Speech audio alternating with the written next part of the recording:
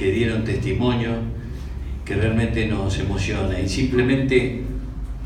bueno, reiterar que, nuestro, desde nuestro sentimiento cuando homenajeamos a alguien como, como Raimundo o como tantos compañeros que, que dieron, digamos, su vida luchando por la clase trabajadora, por el pueblo argentino, por ahí las reflexiones tienen que ver que el mejor homenaje es qué es lo que hacemos hoy tomando su ejemplo, tomando su conducta. Eh, hay una primera carta, y digo esto en función de que a mí me parece que, que hoy rememoremos los 50 años de la CGT, que estamos ahí a horas de lo que sería este, la reunión de aquel Congreso Normalizador Amado Olmo, que muchos de nosotros siempre lo marcamos como, como una actitud, más allá de la trascendencia de la CGT los argentinos, lo que es el hecho de la valentía de los dirigentes cuando se plantan y representando lealmente a los trabajadores dan la batalla para pararse en el lugar que se tiene que parar. Eso tiene que ser un ejemplo hoy y siempre. Por eso digo que el mejor homenaje es qué es lo que estamos haciendo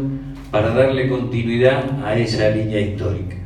Que Perón a los pocos días de ese congreso, donde fue elegida la conducción de la CGT por mayoría, más allá de que después no la haya reconocido este, la dictadura militar,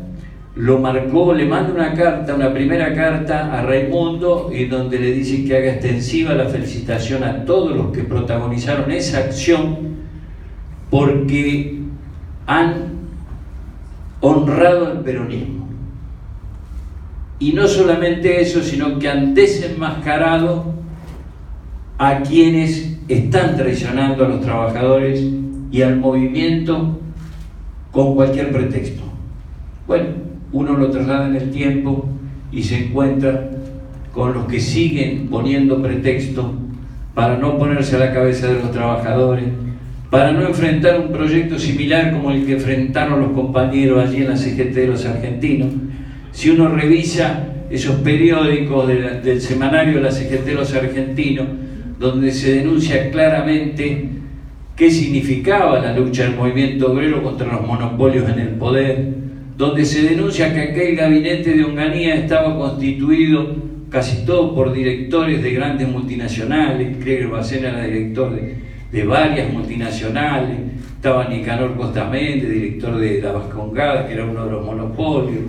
Había un ministro de Defensa que había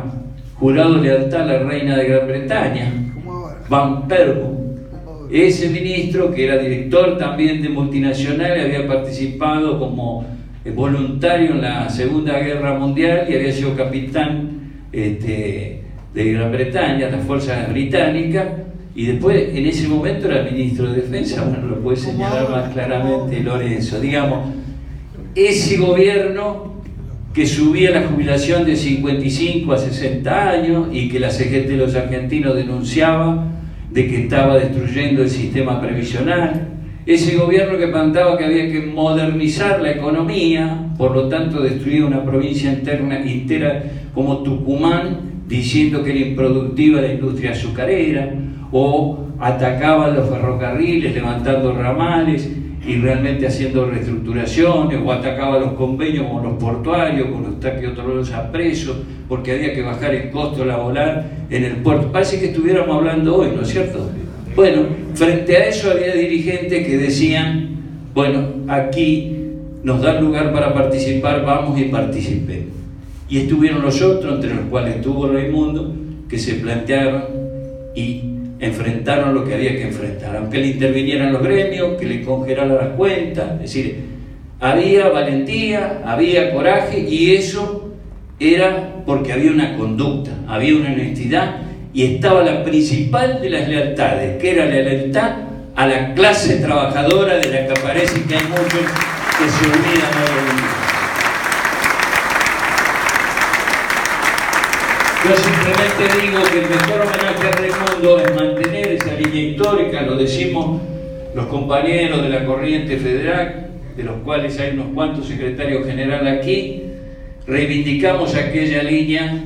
programática del movimiento obrero, que la lucha es la lucha por la liberación nacional, por eso planteamos que un programa dice dónde tiene que estar puesto el sistema financiero, el servicio de la producción, por qué defendemos la industria nacional, es decir, ese país, decía esa CGT de los argentinos, el problema del salario es el problema de los monopolios en el poder. Y hoy decimos, el problema del trabajo, el problema del salario, el problema de los, convenios colectivos de trabajo son las corporaciones en el poder. Y contra eso debemos pelear. Con esas banderas que nos dejaron aquellos compañeros, desde la falda, Huerta Grande, desde la CGT de los argentinos, convencidos que aunque pareciera ser que hoy ya no hay dictaduras militares, hay una gran dictadura económica, hay un sistema financiero, una concentración del poder económico que se combina con lo mediático y con lo judicial, que realmente oficia de la nueva y moderna dictadura. Contra eso peleamos. Ese es el mejor homenaje que hacemos a Raimundo, mantener esa línea histórica, estar convencido de que cuando el pueblo construye mayorías hay una nueva alternativa y esa alternativa para nosotros es que hay 2019 y con la bandera de Raimundo y de tantos compañeros el pueblo va a volver. Gracias.